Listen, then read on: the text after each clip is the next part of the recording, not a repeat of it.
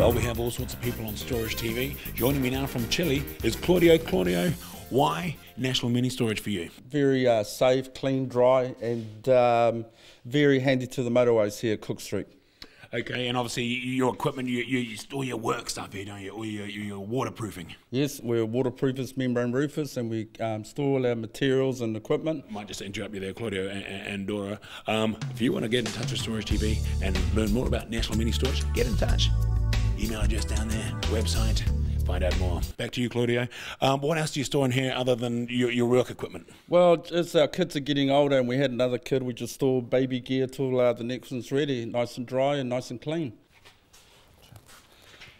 Um, okay, that's pretty much wraps it up, Claudio. Thanks for your time. Appreciate Thank you, that. Leigh. Thank you. Uh, yeah, don't let immigration know, please. Yeah. And uh, As I said, it's secure, it safe. immigration. Adios. Adios. Gracias. Ciao. Ciao. She's a beautiful man, Fern. Beautiful camper. We damn good. Yep, it does us. You're storing it here at um, at National Mini Storage, where they've got boats and all sorts of stuff here. Um, how does that help you out? Um, it really helps us a lot because we just haven't got the room at home. Yeah, simple as that. Um, and here it's, it's obviously safe, it's secure, and you, you can just come and get it when you want. Yes, it does us. We can come any weekend and pick it up, and off we go for a little tiki tour around the countryside. Can't help but notice the old the old hobs over there, the cooker there. They're not easy to cook in while you're driving, are they? No, they're not. They're not at all. Well, I've actually done that myself um, a a few years back. Have we got some footage of that?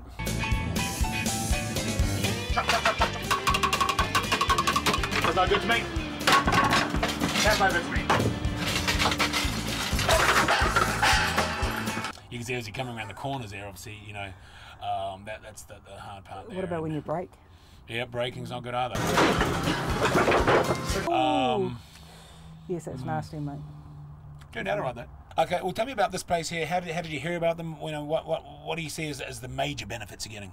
And just hold this if you could. Okay. Um, obviously, it's the um, proximity to home. It's very close, only a few minutes' drive away. It's secure, very secure, and um, it's usually a quiet place.